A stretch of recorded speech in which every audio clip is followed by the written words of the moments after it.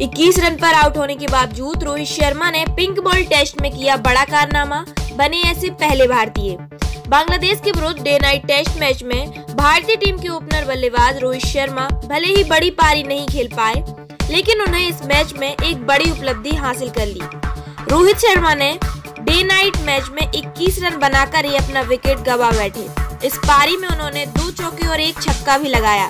लेकिन इस मैच में छक्का लगाने की वजह से रोहित शर्मा ने एक अनोखा रिकॉर्ड अपने नाम दर्ज कर लिया। रोहित शर्मा ने पहली पारी की पांचवी गेंद पर छक्का लगाया। इसके साथ ही Rohit Sharma pink ball test में छक्का लगाने वाले पहले भारतीय बल्लेबाज बन गए हैं।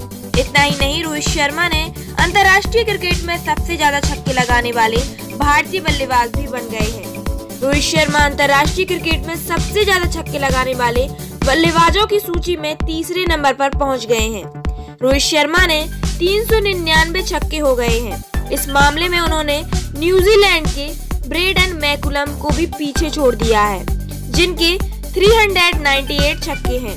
अंतर्राष्ट्रीय क्रिकेट में सबसे ज़्यादा छक्के लगाने का रिकॉर्ड वेस्ट इंडीज के धाकड़ बल्लेबाज क्रिस गेल के नाम दर्ज है, जिन्होंने अब तक कुल 534 छक्के लगाए हैं, जबकि इस मामले में दूसरे नंबर पर शाहिद अफरीदी हैं, जिन्होंने 476 छक्के लगाए हैं।